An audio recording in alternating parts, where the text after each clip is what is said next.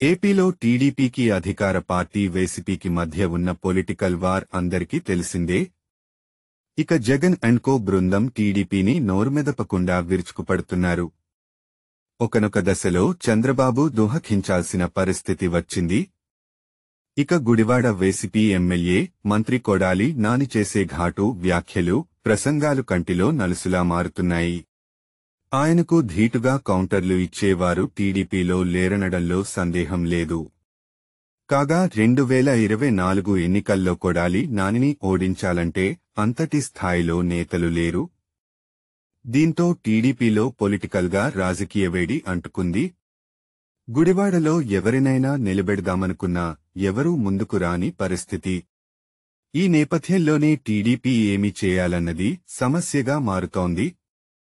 TDP వ్యవస్థాపకుడు senior NTR family నుంచి ఎవరినైనా ఒకరిని బరిలో దింపితే ఎలా ఉంటుందనే చర్చ కూడా సాగుతోంది. ఇప్పటికే ఎన్టీఆర్ కొడుకు బాలకృష్ణ అనంతపుమ్ర జిల్లా హిందూపురం ఎమ్మెల్యేగా ఉన్నారు. ఆయనను ఈసారి హిందూపురం నుంచి కాకుండా గుడివాడ నుంచి పోటీ చేయిస్తే ఫలితాలుంటాయని బాబు చెబుతున్నారని సమాచారం. కాని దీనికి బాలయ్య నిరాకరిస్తే ఎన్టీఆర్ ఫ్యామిలీ నుంచి ఒకరిని బరిలో నిలపొచ్చనే అంచనాలో బాబు ఉన్నట్టు తెలిసింది. అయితే ఎన్టీఆర్ ఫ్యామిలీకి చెందిన హరికృష్ణ కూతురు సుహాసిని తెలంగాణ రాష్ట్రం కూకట్పల్లి నియోజకవర్గం తరపున రెండు వేల పద్దెనిమిది ముందస్తు ఎన్నికల్లో పోటీ చేసి ఓడిపోయిన విషయం విదితమే. ఎన్టీఆర్ ఫ్యామిలీ చాలా పెద్దదే. అధిక సంఖ్యలో కుటుంబీకులు ఉన్నారు. కాని అందరికి తెలిసింది కొద్దిమంది మాత్రమే. అయినా కొడాలి నానిని ఢీకొట్టేంత శక్తి ఆ ఫ్యామిలీలో ఎవరికుందో అర్థం కాని పరిస్థితి నెలకొంది.